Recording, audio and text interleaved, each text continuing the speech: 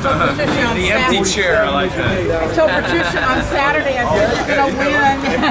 She was We definitely gonna win. We knew that. I just told that to Ellar. You said the same thing. Yeah, she was definitely gonna win.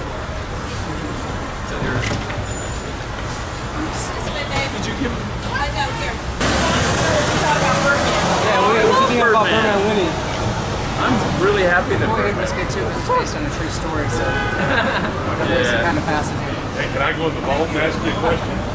on the happy face, on the days confused, Yeah. little- No. Okay. no. I, I, in fact, I didn't even like that much. You know, if you think about it culturally, the, the happy face had sort of gone away by about 74.